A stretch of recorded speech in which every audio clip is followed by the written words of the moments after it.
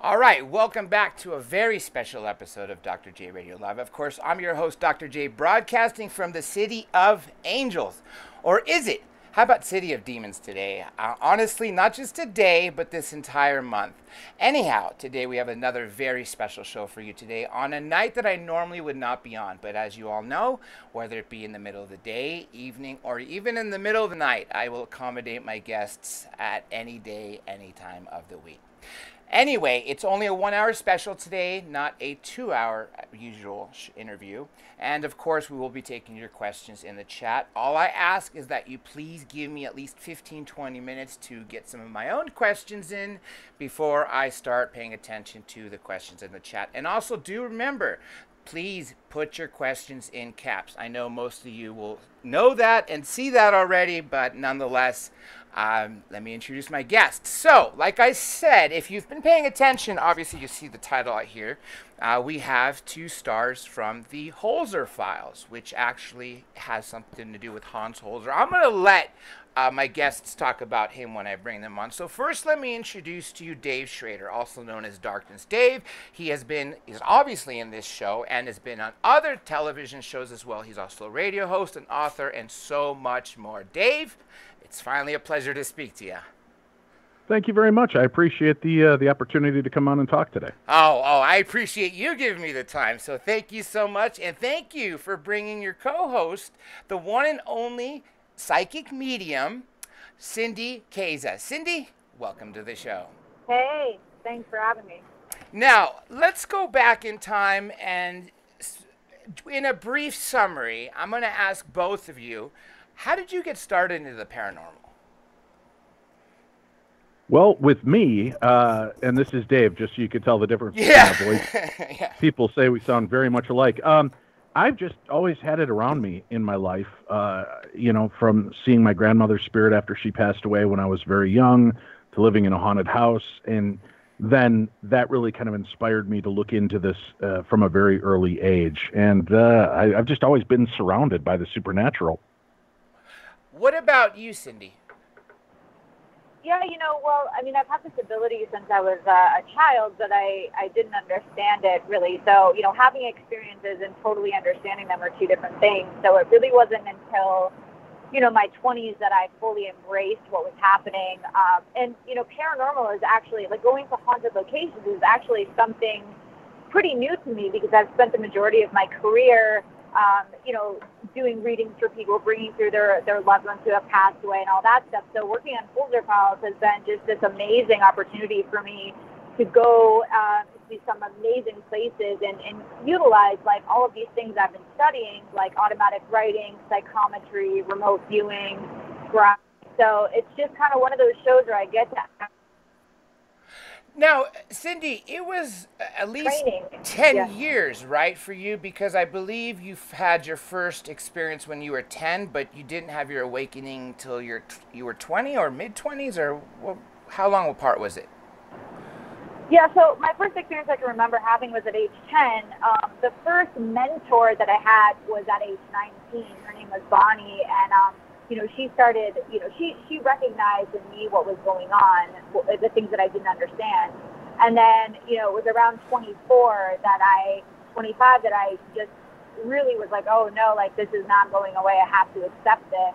And then from there forward, it, the journey really began, you know, and I started taking it seriously and, and realizing that I needed to, to figure it out. So, Dave, let me ask you this. Uh, approximately how long, I'm assuming you were hunting on your own, right? Or did you form a team and just start doing your own amateur hunting on your own time in between, you know, after work or things like that? Or how, how did that go before you actually got well, picked up for TV?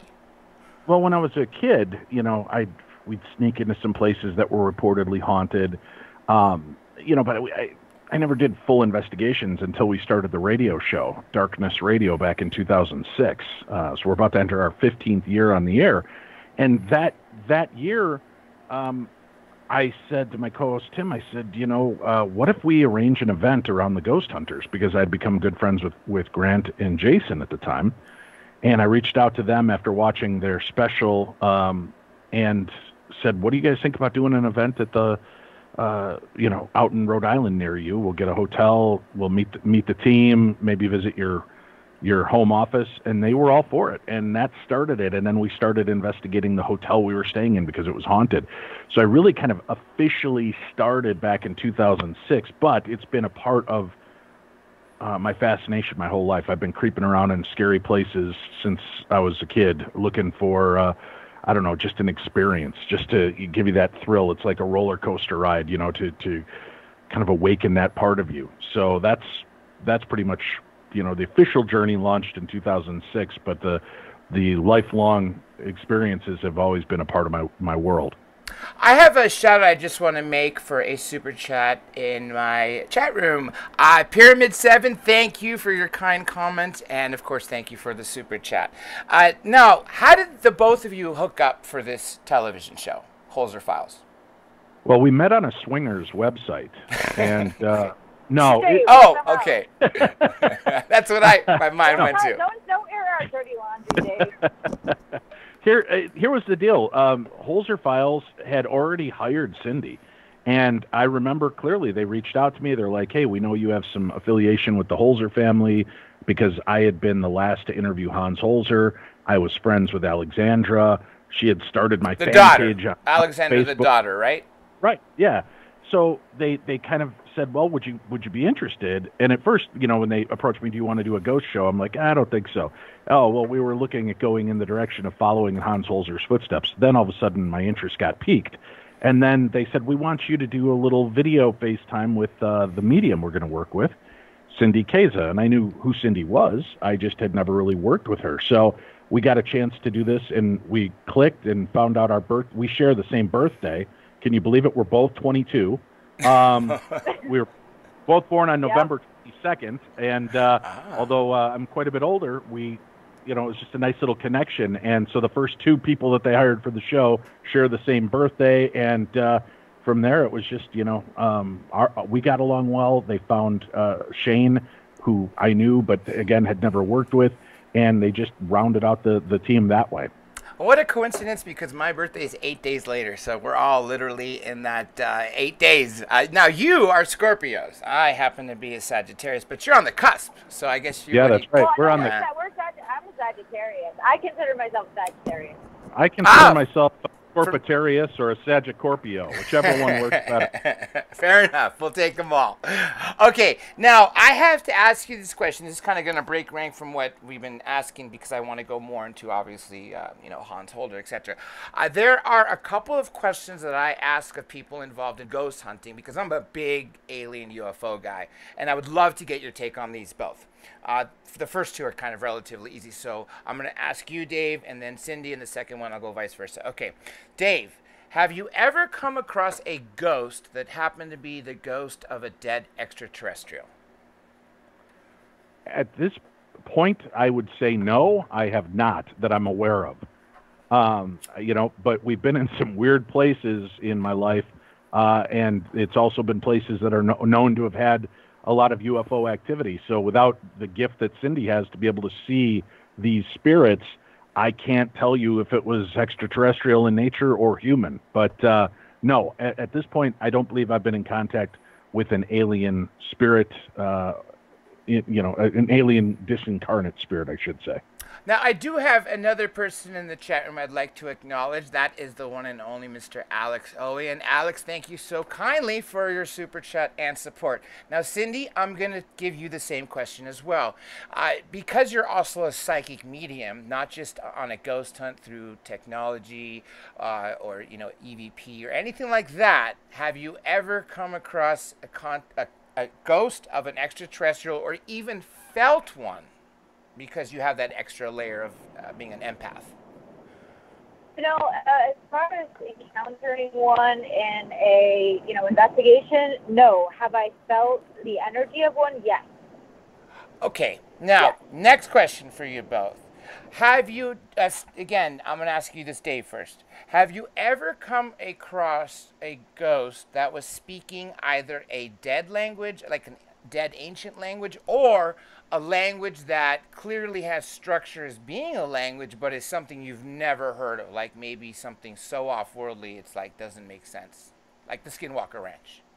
I I can't say I have, although uh, using a spirit box once at a uh, well-known location, the the James Gilliland's ECETI oh, Ranch. Yeah, yeah, yeah. That's right. I, I uh, right. I we were sitting there and I had my spirit box going and we were getting set up, and all of a sudden the spirit box said, "Chair, sit, open skies," and all of us stopped and looked at each other. I'm like, "Get out of here!"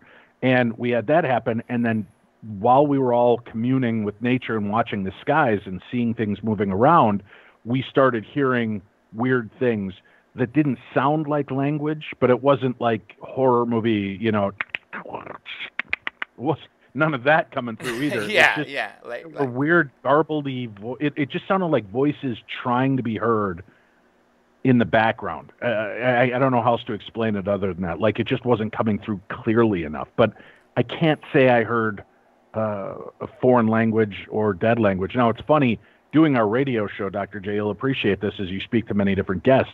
Yes. We had a guest on our show probably 10 years ago who came on and was a, a, renowned authority on EVP and paranormal investigating.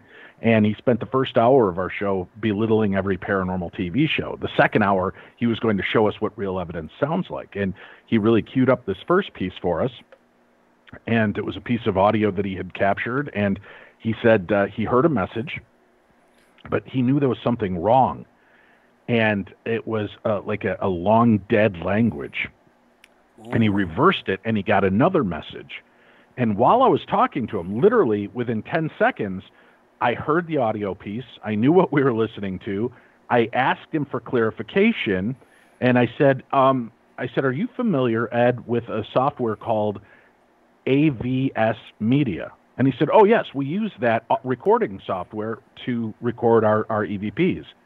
And I said, um, that that EVP that you've had linguists listen to that say it's a long dead language, that is actually English. It's a woman speaking English with an English accent, and she's saying AVS Media Demo because it was an audio watermark on the demo recording software they were using. Was, this, was this English when it was played backwards? No, it was well, it was English both ways, but it was an actual watermark which is uh, if you if you use a demo audio, it may be like, uh, you know, Dr. J has created this new audio, and before you buy it, you can test it. Well, every 30 seconds, you'll hear Dr. J audio demo, so that people don't just use the free software and, and never pay for it. Yes. So it was AVS Media demo, and then I flipped it and played it backwards. You could hear his say, "Is my baby? Save it." which was Whoa. intriguing until I had Tim say the words AVS Media Demo, and we reversed it, and you could hear Tim say, "Is my baby? Save it." And do I think it was a long dead language? No, it was English. Uh, so I just that was one of my favorite. no, no, I'm glad. I'm glad because that that fits in because it's still a, a, a, language. Now, could you, if you were to estimate the time frame, I mean, did she sound like, uh, you know, 20th century or uh, 15th century? If you were just to guess, what would it be? Shot in the dark. Well, uh, again, it, it was a contemporary voice. It was a watermark on an audio file, so it was it was new.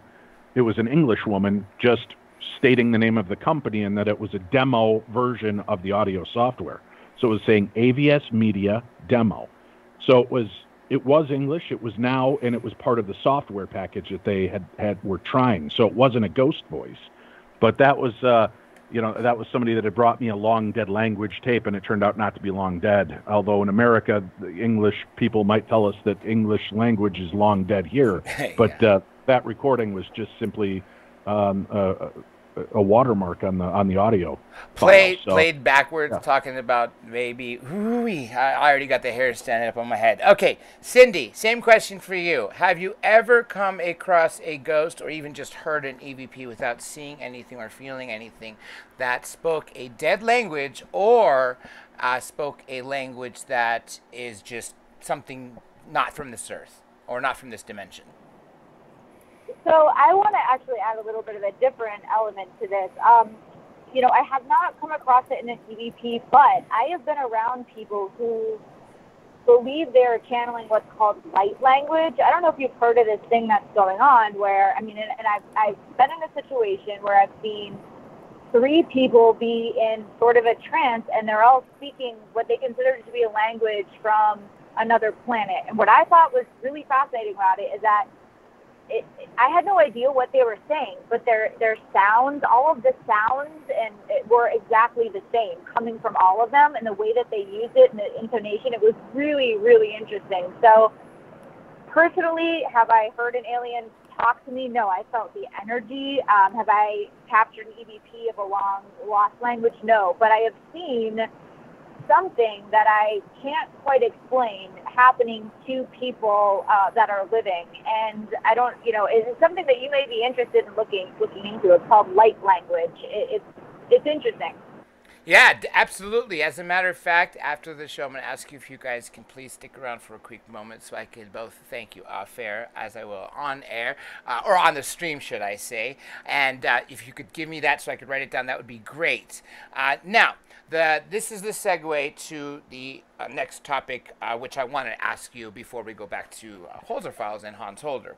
Okay, I'm assuming both of you have heard of Skinwalker Ranch and the Stardust Ranch, right? Yes. Okay. Now, yes. what is your personal take on that? Because, see, we have ghost activity like that dire wolf, extinct wolf from 10,000 years ago, that obviously just disappeared on its own, was not affected by bullets from a 357 Magnum. Um, even when a 30 9 was fired at it, a chunk of flesh came out, which was like so putrid and old. And I, I know you know this part, Dave, from this was like the very first encounter. But then you have like uh, UFO stuff happening. You have structured craft, you have little gray aliens, then you have these giant, tall, black shadows that start peering in your windows, and then before you know it, they're in your house. Then you also have trickster ghosts, like the wife story, where she came back with a bunch of groceries, unpacked them, left the room, came back, and every single thing was put back in the grocery bag. Uh, the predator creature, where you can't see it. Uh, the blue meanies, which really scare me, which are the blue orbs that seem to get near you and strike that fear nerve in you, where you're just really scared. Cattle mutilations, dogs being zapped, and then, of course, people hearing disemboweled voices that are both uh, audible only in their head, but even if a group of people are all hearing it, they all can hear it, which is the crazy part, and yet it's a language that no one can discern. What's your take on both the Skinwalker Ranch and Stardust Ranch, and about that last detail about that crazy language? Well, I actually got to go to um, Stardust Ranch I had them on my radio show long before most people had heard about them, and I was working behind the scenes on Ghost Adventures. And Zach had come to me at the time and said, "Dave, try to get me in Skinwalker Ranch," which I had tried to do, but as you know, was impossible. yeah. So Bigelow I, I, owning it and Brandon Fugal right. owning it. That's right. I said, but I do have another location that seems to have uh, interdimensional portals, ghosts, and everything. And I I played the re- episode for him, and he's like, lock it in. Let's go. Do you want to join us for this? I'm like, hell yeah, I want to join you. So we went off to Stardust Ranch. And it's one of those places that the claims are so absurd that you think there's no way this is possible. But then again, they're so absurd because of what they are portals, creatures coming in and out, interdimensional. So here was what I talked to the guys about. I said, listen, individually we would investigate any one of these claims. Why would we turn our eye away because all of them are happening in one place, like the Skinwalker Ranch? And uh, Zach said, "You're right. Let's go." So we we booked it, went out and filmed it, and I saw UFO craft uh, in the sky twice that night. Um, Aaron Goodwin and I witnessed it the first time together before filming even started and threw us for a loop. And then I went up on the mountain across from the Stardust Ranch by myself in an isolation experiment where I truly was alone and uh, even turned over my, my walkie talkie and my cell phone because I believed if the aliens knew I was there and could call for help, why would they make themselves known? So I was there. Now, I I could definitely hear something walking around out there on the mountain with me because you could hear the footsteps. They even caught them on a recorder. Um, because they had a, a night vision camera placed on the mountain watching me. You could hear the footsteps, but we couldn't see anything. So that was very predator like in nature. Um, that you could hear it but not see it. So I've been there. I've not been to Skinwalker, but I've spoken to people that have been to Skinwalker and some of the adjoining properties. I mean, here's the deal.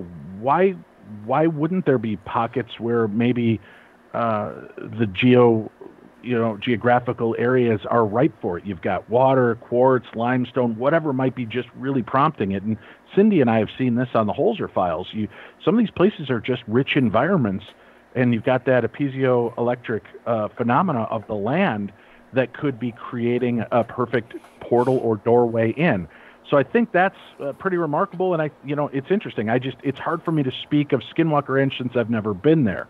Um, I talked to the guys that were part of that Skinwalker Ranch special, and I, I think that they were blown away by what they were actually finding and the things that were coming through. So I believe their experiences were very real to them, and I would love the opportunity and hope at some point in my uh, career I'll get a chance to visit Skinwalker Ranch as well. You know, you literally took the next question out of my uh, mind, which is so cool because I'll get to that after I ask uh, Cindy. And even though you haven't been to Sky, Skinwalker, but you've been to Stardust, they're so freaking related. You know, it to me, you visited at least one. That's more than I've done.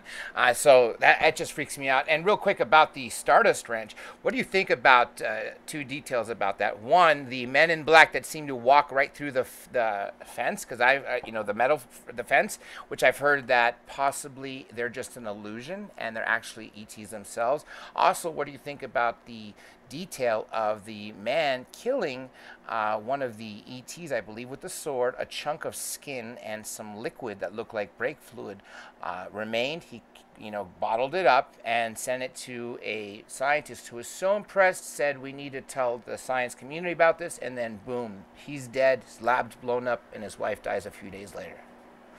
Yeah, that that whole aspect certainly made the case, and, and it's one that you can research for yourself. It made the case a lot more intriguing because, you know, the one remaining piece um, of evidence that was in somebody's hands that could blow this thing up. The guy mysteriously dies, uh, like you said, the explosion, and then his wife dies. It's really hard to just discount that as just really bad timing.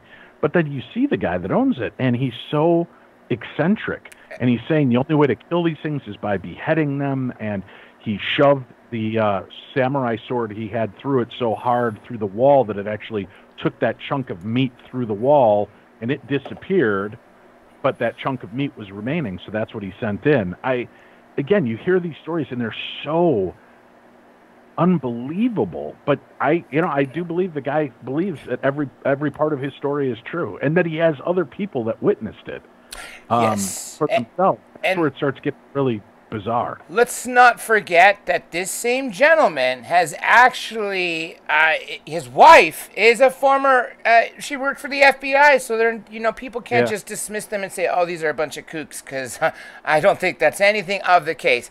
I, I'm assuming, Cindy, uh, you've been there or you, ha- you haven't been there?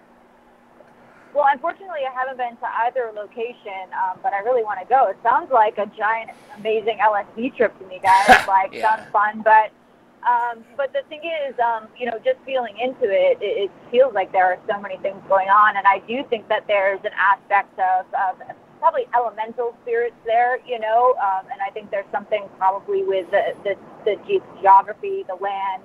Um, I think it's all possible, but it's hard for me to say until I'm there because the other thing that can happen is, you know, people have experiences and then they talk about their experiences a lot, or stories, you know, get told, and then the stories create create their own psychic imprint. So, as a psychic medium going onto land or going onto a property, I have to be able to discern between, uh, you know, what's a psychic imprint, what is actually there, right? There's so many elements to it. And even uh, at a location this season in Holzer Files, Dave, the one that we were in the in Ohio, um, where I walked into a location and I was getting all this crazy stuff. I'm like, gosh, I can't believe so many horrible things happened in one place because I was seeing all the psychic imprinting of all the stories that have been told about the place. So there there are a lot of different aspects of, of you know a location that you know as a psychic medium I have to really kind of be there to feel into it. But I would love to go. It sounds exciting. Uh, now, Dave, uh, you mentioned exactly, like I said, exactly what I wanted to ask you. It, those two places are really close to each other, and not to mention also very close to where Travis Walton was taking. We Right. also know that we have the Bermuda Triangle, which has had, I think, till as long as we've had recorded history in this part of the world, uh, where things disappeared. We're not just talking about World War II era with the uh, five planes and then the chase planes or the, the uh, rescue team after that all disappearing. We're talking, you know, even from the captain, uh, not Captain Crook here. I'm talking about or Hook here. I'm talking about literally from, uh, you know, Caribbean 1700s or 1600s, even pirates. But uh, uh, right across the world, from the same area, we have the Devil's Triangle. And so, like you said, you know, I would think we there are several other places on this planet that have the same thing. Uh, for instance, Texas. I think of that. You know, where the Mar- lights are, and you know, is it ley lines, as you mentioned? Is it other anomalies that could be there? So, again, I, I know you gave an explanation as to uh, why wouldn't there be other areas that have some sort of energy that's coming out from there. But do you know of any other places, stay in just in the United States, uh, on land that have pretty much the same thing where you have every paranormal thing linked bigfoot aliens you know ufos uh, ghosts apparitions and all of the above Well, the Bridgewater Triangle out east is pretty popular. Um, you know, there's a bunch of places that kind of uh, have these areas that are ripe with different stories. I mean, obviously, uh, Dr. Hans Holzer spent a lot of his time on the East Coast. So Cindy and I uh, and Shane have spent a, a lion's share of our time on the East Coast. And when you look at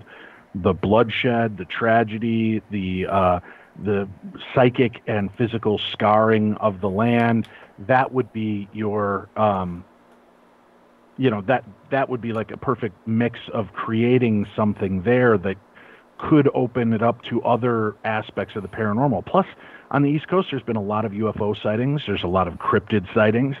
So, I don't know if if there's any specific places that are more hot than others, and I think it, it kind of just depends on on the time of what's going on. I will tell you this though, before we roll off of the UFO stuff, uh, the government has come clean in 2020 and admitted that they have an active investigation on UFOs, that the footage that they released three years ago is real. There are people from different sects of the military, NASA, and uh, former uh, pilots uh, and, and uh, um, astronauts that have come forward saying we are not alone. So I, I think that part of the discussion is over. Now it's how do we, the people, ready ourselves for the next step, which is obviously going to be um, disclosure, full disclosure, and I I really believe that that is coming very quickly, uh, especially with some of the insights I've been given recently from um, a, a few people that wish to remain nameless uh, that I, I have very uh, a, a lot of respect for and I believe in. But I think that in the next year or two, things are going to be blown out of the water, and we're going to finally have some solid answers uh, on if we're being visited, how long we've been visited, and who it is we're dealing with. yeah because You know, Dave, I, I just go ahead Cindy. Oh, sorry. I just wanted to add something. I think it's it's pretty interesting, right? Like a, a whole truth bomb about aliens being real from the government happens at a time where hardly anybody can focus on it, right? I mean, it's kind of breaking news, but nobody's talking everything else that's going on. So I find that that part of it interesting. Right. Right. Kind of sneaking it in. Part of me feels that after you had the 2017 announcement, thanks to to the Stars Academy for getting it out sooner. Uh, fortunately, I don't know if it would have ever been released like they released the full files, or you know, the few months ago. The point being is, to me, that was disclosure. That was as close to disclosure as you're going to get. In 47, you have Roswell, and immediately it's a freaking weather balloon. And I always make the joke of like, how can the only nuclear uh, base in the entire world with the top engine in, uh, intelligence officer uh, really screw up uh, a, a flying saucer for a weather Right. balloon? I just it blows my mind how stupid the explanation can be. But I, I don't think Well, people. and remember, Dr. J, it wasn't uh, originally blown up as a weather balloon. no, no, this was day two. official word yeah. that there was a crashed saucer. That, That- was the official word from the government, and then they went into fixed mode. yes. So day two. I, uh, from my Yeah. understanding, 2017, there was something released from the government uh, internally saying it's time to start getting information out there. Uh, listen, as we get closer to the end of the year, I noticed that there are things like um, influencers. Uh, and and it may be hard for a lot of people. You roll your eyes oh, when you hear Demi you mean Lovato, like Miley Demi Cyrus. Lovato. I just heard that Right. story today, uh, and you know, because uh, the third phase of the Moon, um, you know, know a lot of people, the world's largest UFO tu- YouTube channel, and they relayed that story for me, and I- I'm blown away because this opens the door to if influencers are saying something, the followers are all of a sudden going to say, "Hey, maybe I can tell my story." So, Dave, I'm so glad you brought that up because to me that's Well, and in one news. week, you had Khloe Kardashian, Demi Lovato, and Miley Cyrus all come out and not just state it. Most, I think, all three have footage that you can find online of some of their experiences, except for Miley. She does admit she can't be 100% certain because she was doing weed wax at the time. Yeah. Um, but she uh, she's open about it. Um, I mean, you have I don't know, Cindy. This is pretty cool to me. I didn't know if you knew this, but the the um, lights that were seen in the sky over Arizona, and for some reason the actual name of the sighting is is uh, the Phoenix Lights. That famous UFO 1997 sighting. March. Yeah. The first person to report it, who was in the sky seeing it as it unfolded, was actor Kurt Russell, and he remained anonymous wow. for a long time. But he was the first to see this and be an eyewitness. So, you know, there's when you start hearing that these influencers, who a lot of people will roll their eyes at, but now you're you're having the young generation being broken into it slowly by the people they like and look up to. I, I do feel, uh, Dr. J, that they are opening up uh, a a pathway to make communication a little, um, a little bit more acceptable to the masses. Yeah, that too. And there just seems to be a sheer increase in the amount of sightings. And we all know if they wanted to stay hidden, they can. Uh, let me also give another shout out in the chat room to my dear friend Rockstar. Thank you as well for your super chat and your support. Uh, now, speaking of what we talked about UFOs and obviously where it's going to, and I'm really excited that you have those contacts that are telling you in the next year uh, or two because I, I think this is the right time. You have a Gallup poll recently said 67% of Earth believes we are not alone. Obviously, that's not the same poll with regards to people who've been we've already visited. But find me someone who's under 21 that tells you they don't believe in UFOs. I, I can barely find any, if there are any left. So that's my take on that. Now, let me go back to Hans uh, uh, real quick uh, for a couple moments, and then I'll start taking some of the questions in the chat because I see there are a couple. Uh, Dave, when did you interview Hans Holzer? And uh, I'm assuming prior to you interviewing him, he was a great inspiration to you as being the father. Uh, is he the father of parapsychology and ghost hunting, or is he just one of the pioneers who picked it up from um, people prior to him? Well, I mean, everybody gets a title. It's kind of like Las Vegas. Every place you go is voted the number one best buffet or number one best comedian show or magic show. It just depends on the eye of the beholder. But he certainly was. Uh, he's he's considered kind of the the father of the modern movement of paranormal in the United States, um, the American ghost hunter, which is interesting since he's from Austria. But uh, he, you know, he he really steeped his life into it. And this season, we get to investigate his very first case. We get to re-investigate that case, and uh, Dr. Holzer uh, investigated in the 50s, 60s, 70s, 80s, and 90s, and even into the 2000s, he was still consulting and talking to people about issues they were having, although he was not as active. He died, I believe, at the age of 89. So um, we had spoken to him just uh, a year or so prior to his death. We were his final radio interview, and I had both he, uh, him, and his daughter Alexandra on the show. She, her book and his last book came out at the same time, so we interviewed Alex for the first hour and Dr. Holzer for the second hour of the program. Um, and you know that was released back in I think it was I want to say 2006 2007 in in one of those first two years. After 15 years they all kind of bleed together of when it when it took place. But um it was it was remarkable and I had read a lot of his books growing up. My my mom and aunt always had Holzer books laying around uh you know because they were fascinating and he had so many that had collections they were good bathroom readers as my mom would call them because if you go in read a quick story while you were in the restroom and and uh, you know pick it up and start off on a whole new story the next time you visited. So I you know that was kind of my introduction to Dr. Holzer. Plus, I used to love to watch In Search of, and Dr. Holzer wrote, produced, and directed all of his own segments, I believe it was, when he appeared on In Search of. And one of the cases that he covered there, the Mystery Hill case, uh, which is now known as America's Stonehenge, Cindy, Shane, and I get a chance to visit America's Stonehenge, and we have some very special guests joining us on that episode that I'm very excited about. Um, so yeah, it's it's kind of really interesting to come full circle to get a chance to have read these stories and now we're injected into the history. And what really continues to blow me away about doing these cases, Cindy was not really familiar with Dr. Holzer. She knew of him, but was not an avid reader or follower of his stuff.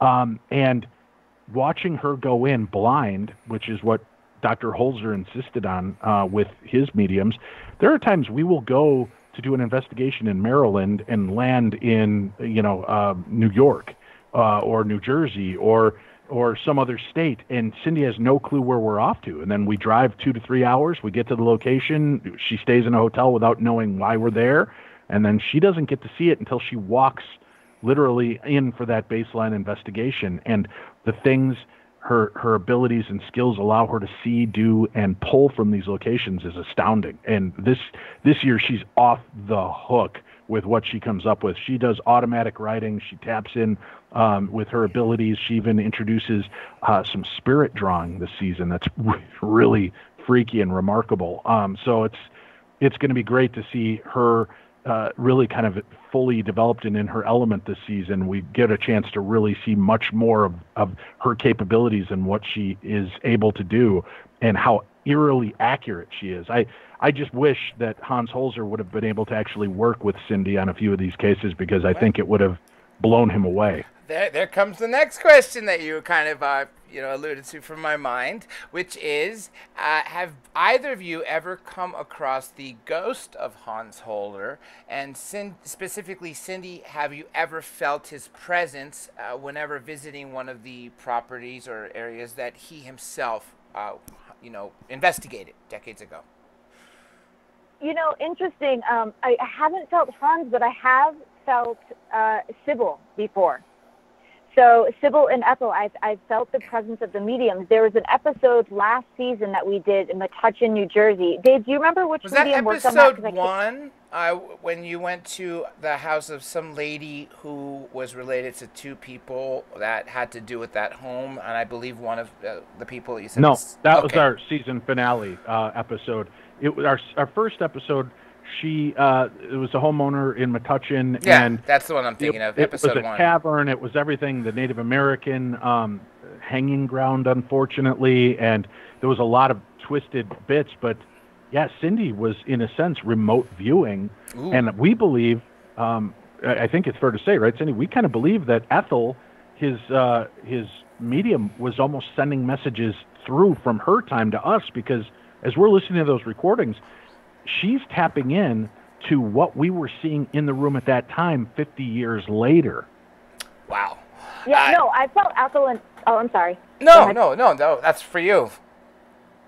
Yeah, I felt Ethel and Sybil um, a few times uh, during the course of filming last season and this season, and to me, that's actually really cool because uh, it's, it's almost like they're coming back to help finish or, or continue cases that they were a part of. And I think that that's fun, you know. And, and in that particular case in Metuchen, um, I was being helped, you know, by by the medium because, you know, they they also want the case to go forward. They want the pieces to be seen too and known. And also, like we're all picking up on the similar things, and that's one of the most exciting parts of the show for me is that I get to go in blind and then Dave gets to tell me this is exactly what Ethel was picking up on. This is exactly what Sybil was picking up on.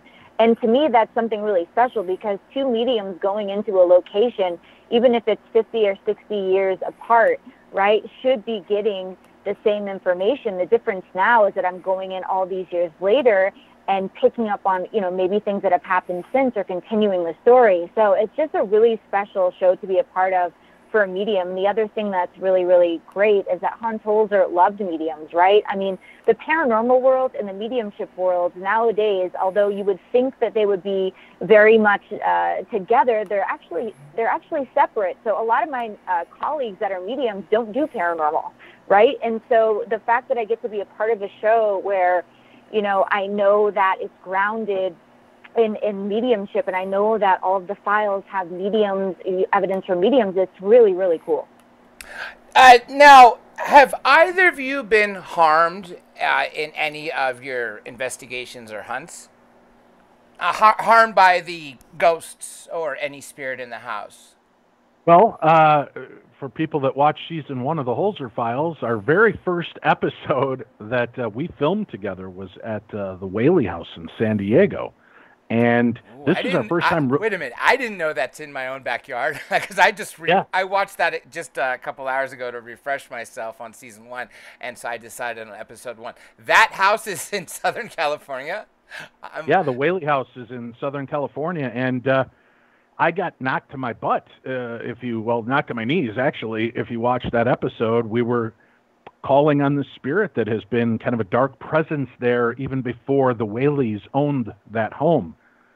And we were challenging it. Uh, I was challenging it. And we asked if, if this spirit had a hand in the death of Violet Whaley, who had committed suicide. And to our astonishment, it sounded like a shotgun went off inside the house.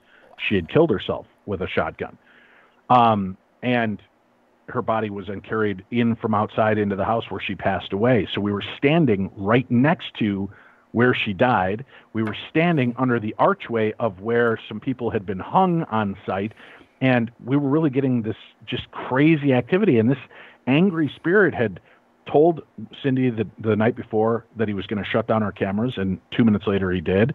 Uh, the spirit told Cindy he was didn't like me and was going to knock me out, take take my knees out, and uh, you know within five minutes I get violently shoved into uh, uh, Shane, and I hit the ground, landed on my knees, and turned around, and and I was shocked. I, I walked out of the house. They continued the investigation for a little bit. I needed to clear my head, but uh, I had that happen, and then uh, when we were on the USS uh, Constellation out in Baltimore. Um, again, I was we, we were investigating, and all three of us were stationed on different parts of the ship, and uh, I was hearing footsteps above me, and I was following around a shadow that looked like a kid. As soon as I stopped paying attention to the kid and started paying attention to the the footsteps, and Cindy came up, something bit me on the forearm. And when I rolled up my shirt, you could see this little mouth print on my arm, um, and it bit hard. Like my arm was the mouth print the size of a kid, an adult. Uh, what would you say? to me, it looked like a kid's bite. Having been the father of uh, eight children and having had my fair share of bites, it looked like uh, a kid's bite on my arm, um, and it hurt like hell. So those two times. But again, I, we don't believe these things were demonic. We just think that they're pissed off ghosts that demand attention. And sometimes when you're ignoring these things or or missing the point of their story, they act out. And uh, we take it very seriously. You know, with the the Whaley House, um, we offered to have it cleared and bring in an Indian uh, Native American shaman to do a clearing, and they declined at the time. But they said if things get crazy, that they will call us back in and would like us to reinvestigate and and see if we could bring in help. So if that ever happens, we'd be happy to return. Uh, Cindy, same question to you. Have you ever been harmed, touched, uh, you know, felt nauseous, anything of the sort like the examples Dave just gave? Well, I've never been pushed like Dave or physically harmed. Uh, have I felt nauseous? Absolutely. Dizzy? Yes. Uh, energetically drained? 100%. And, you know, there are times when I leave an investigation and I know, like, something's with me still from this investigation. So I'm really mindful that all those things are possible and they do happen. So I, I really make sure that I, you know, do cleansings and stuff like that because uh, as a medium or even as anybody going into an investigation, you know, energy can can attach itself to you. You know, you can bring things home with you, and it does happen. So, you know, those things have happened, but luckily um, have not been physically harmed. I hope it doesn't happen, um, and I am very cautious.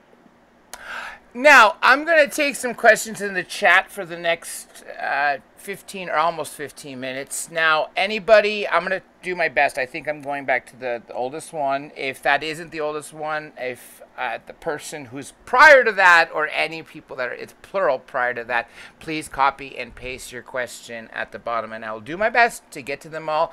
Now, Dave and Cindy, these are for both of you, unless one, of course, is uh, directed at you. The first one, Lasha Senyuk. Have they ever gone to Gungywamp, Connecticut? That would be worth checking out, guys. Is what she says. No. Okay. Nope. No, nope, haven't been. Next one, Alex Owen. After a person passes, are they stuck earthbound for a period of time, and have they used or heard of Necrophic app? Uh, do you want me to take this, Dave? Yeah, please. Okay, okay. So here, here's my take on, you know, we use the term earthbound spirit a lot. Uh, a lot of mediums use that term. To me, energetically, it doesn't make sense for a spirit to be, you know, completely trapped in the third dimension because when, when somebody passes away, their soul, it, it, it vibrates differently. It goes to the other side. Now, having said that, I do believe there are spirits who have unfinished business, who are very, very attached to earthly things, who are very, very close, very impressed upon this layer, the third dimension. And those are the spirits who have a very hard time, um, you know, understanding that they don't have to be so attached to Earth that they can move to the next layer, level, whatever you want to call it. Um, do I think every spirit has that experience at the time of death? No, not necessarily. Uh, I do believe, you know, there's a period of, of a life review, all that stuff I believe. Um, but I don't think that every spirit is earthbound, quote unquote, for, for a period of time. I think it depends on the soul, right? Mm-hmm. Um, to, to answer the, the back half of that question, I, I have not heard of that. Can you repeat the phrase to me? What was it? Sure. It, it's an app, and it's called Nectr- Necrophonic.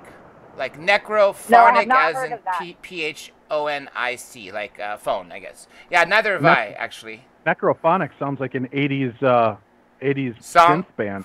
That's true. That's right. Okay. Yeah. This next one is aimed at you, Cindy. Cindy, when you see beings from another realm, do they see you as well? If so, how do they act and react to you? Yeah, that, that's a really that's a really interesting question. So, um, do I think that they always see me? I'm not sure. I feel like there are some that are caught in a loop, but having said that, right, I'm kind of mindful. Are they really in a loop or am I seeing a psychic imprint or just a memory of something that happened over and over again? Uh, most of the time, I do think that they're aware of me because they're trying to communicate with me. And a, a giant misconception about how mediumship works is that, you know, people think that the medium sees the spirit like I'm looking at, I'll be looking at you in the living, and that we're having this dialogue like I'm having with you now, and, and that's not how it happens. It's it's kind of like playing Pictionary, charades, and telephone all at the same time. So I can feel the presence of spirit.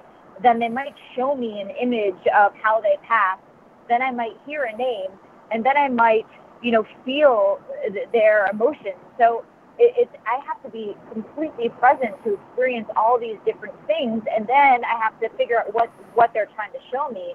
And so, you know, when you see me working in the Holzer files, sometimes it, it takes me a second to say I'm not, I don't quite understand, and then I then have to go back and kind of feel into it. But most of the time, I do think that they're aware of, of me because if they weren't, they wouldn't be trying to communicate their message.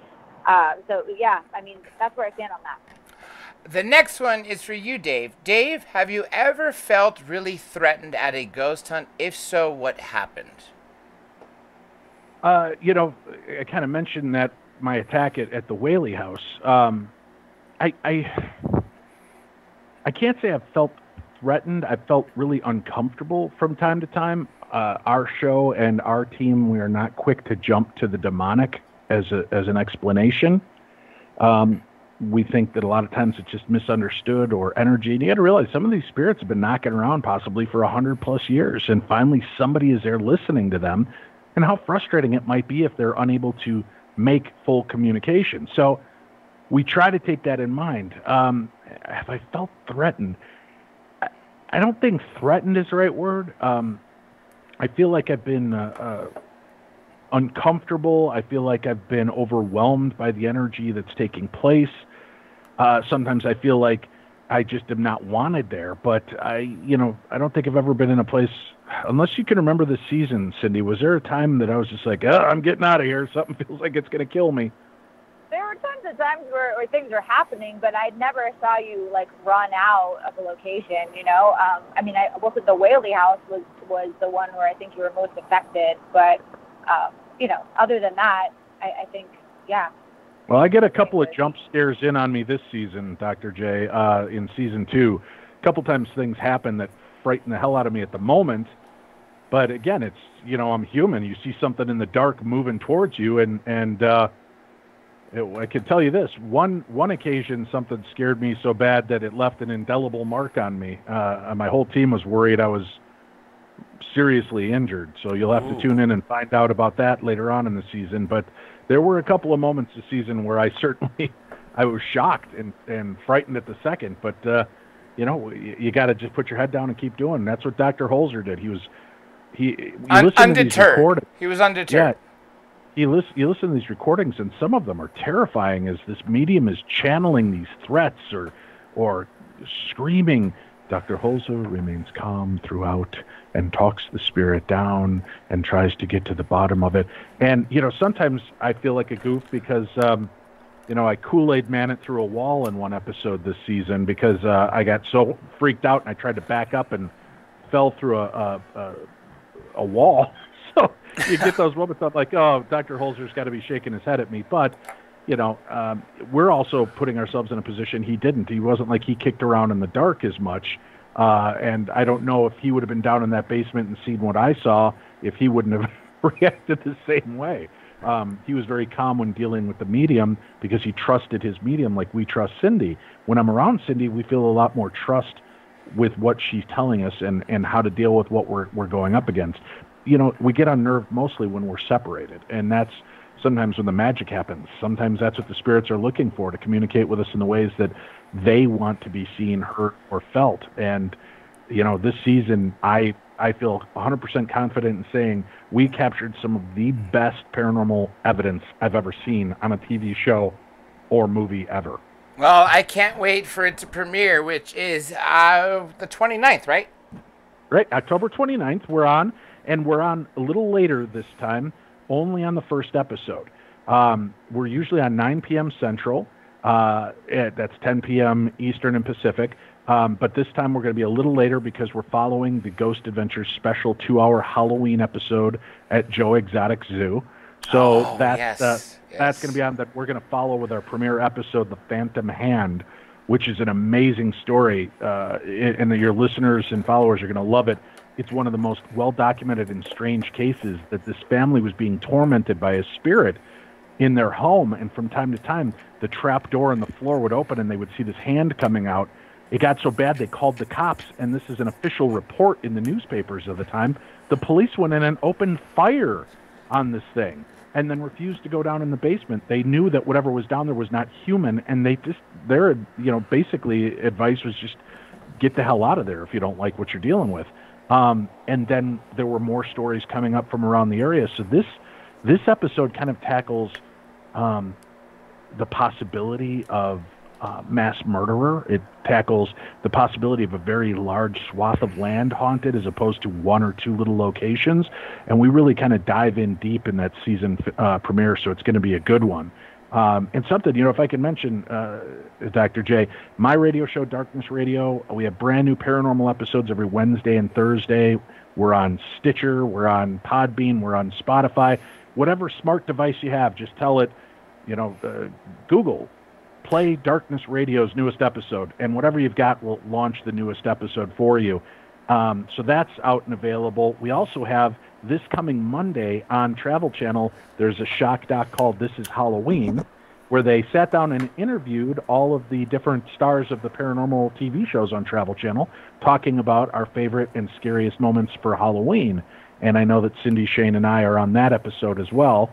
Uh, but Cindy's got a couple of really cool things going on um, and she's uh, she's making herself available to her audience in new ways with the new world that we're in. Cindy, why don't you tell them what you're doing and yeah, how people? Please, please do that. Exactly what Dave said, and also, can you also tie in uh, some of your automatic writing of what you've uncovered? That's we're about to see in season two. Yeah, sure. So, and, and also, Dr. J, I wanted to add something with, for the question of spirits aware of me all of the time. You know, it just as I was listening today, something came to me um, where you know there there are times where I will see uh, spirits, and I, I kind of call it like they're in the mist, which is in this place where they're a little bit lost. In, in those moments, they usually can't see me, which is interesting. So it kind of it came to me after I had to think about it for a second. Um, but uh, automatic writing, yeah, you know, um, I use automatic writing a lot this season. I used it a lot last season too. But what I love about automatic writing is that it, it's like channeled writing. Well, it is channeled writing.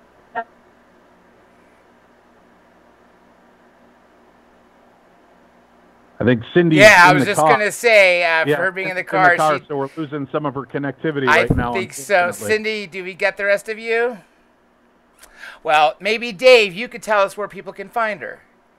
Yeah, if you follow her on um, on the uh, uh, Facebook, medium Cindy Kaza, she does some uh, live gallery sessions. She also does some teaching on psychic development uh, and such, and you can sign up. She usually does one or two of these a month, but they sell out quickly. She also uh, has her websites and such where you can follow her and be able to get readings and keep in touch with Cindy. So, um, hey guys, are, sorry. Oh, there you are, Cindy. I was just telling them how yeah. they can find you. Yeah, that's exactly. So he uh, he beat you to it, Cindy. But go ahead if you have anything else you would like to throw into the events that you're doing. Um, go, floor is yours. Yeah, yeah. So, you know, because I usually tour the U.S. doing live mediumship events. I've been doing that for about seven years, but with COVID, that obviously can't happen. So I've moved all of my live events on Zoom, and it and it's working. So if anybody's interested in coming to see me do mediumship uh, live, it will be on Zoom. I post all of my events on my Facebook page, Medium Cindy Kaza. You can follow me on Instagram, Twitter, Facebook, all under Medium Cindy Kaza. Um, but yeah, it's it's I hope everybody is, you know, safe out there and, and staying home and everybody's safe, healthy, because um, it is a it's a crazy time, you know. Yeah, to say the least. Um, now, again, like I said, please hang by afterwards so I can thank you again off air. I, I'll take this one final question towards you because I think it's a brilliant uh, final thing you could say. This is from Lasha again. If you could tell a spirit one thing and they would completely hear you and listen, what would you want to say to them? Personally, oh, I would want to say you're not forgotten, which I think is a big part of what we do on the Holzer Files, is helping to let these spirits' voices and stories be told the right way, perhaps for the first time since they died. We peel back the legends, the lore, and the nonsense, and we, we try to tell the real story. So I just want these spirits to feel at peace that they won't be forgotten and that their stories will not go untold. I yeah, go ahead, oh. Cindy. I want to hear yours. I'm so sorry. Uh, yeah, you know, not to sound kind of cheesy, but but I would tell the spirit, you know, you are loved because in my experience as a medium, when I've got spirits coming back wanting to make amends to their loved ones, I see this all the time when they pass away from suicide or drug overdose or, or many different ways, or they just never got to to tell somebody I'm sorry, a lot of the times they just want to know that they're loved and that they're forgiven. And, and that's really like forgiveness, I think, is one of the most healing things. Um, and one of the hardest lessons uh, of being a human is to truly know how to forgive. So that that's my take on it.